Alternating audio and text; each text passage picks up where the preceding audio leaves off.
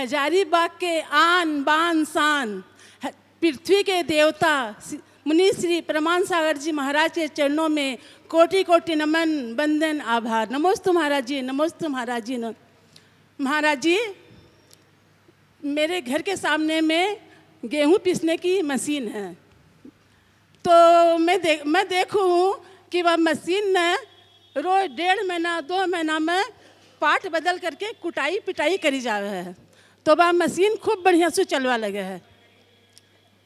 तो महाराज जी, मैं पूछना चाहूँ हूँ कि थे, थाका माथा में कौन सा कंपनी की मशीन बिठा में लिया हो न तो कभी कुटाई करनी पड़े, न कभी पिटाई करनी पड़े, और एकदम सौ की स्पीड में चाले है।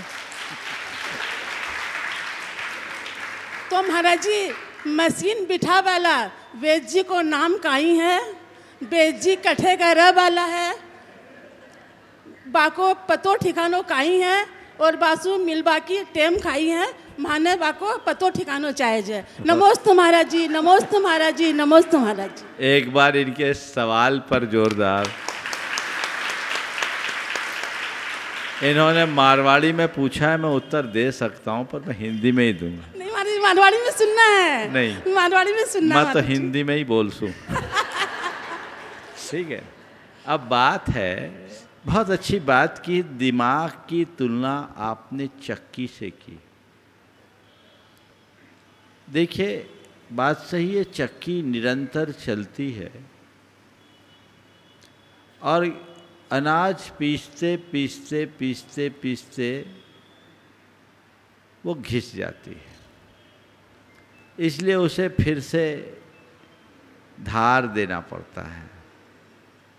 दिमाग के साथ कुछ ऐसा नहीं है। चक्की चलने से घिसती है और दिमाग चलने से निखरता है। है। समझ गए? आप और जड़ वस्तु का जितना प्रयोग करोगे वो उतनी भोथली होगी।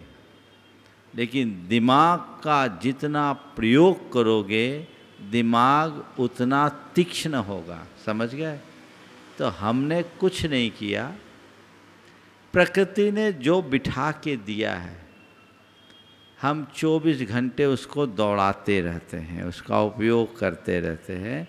आप लोगों की मशीन है ना जैसे और कोई मशीन होती है लंबे समय तक न चलाएँ तो क्या होता है? जंग लग जाती है। जंग लग जाती है फिर उसमें लुब्रिकेंट डालना पड़ता है। तब वो चलती है। हमने इसे जंग लगने का अवसर ही नहीं दिया और हमें गुरु ने एक मंत्र दे दिया, एक पल इसे आराम मत देना, नहीं तो जंग खाएगे। चलते रहो चलते रहो चलते रहो और चलाते रहो चलाते रहो चलाते रहो। नमस्ते महाराज जी, नमस्ते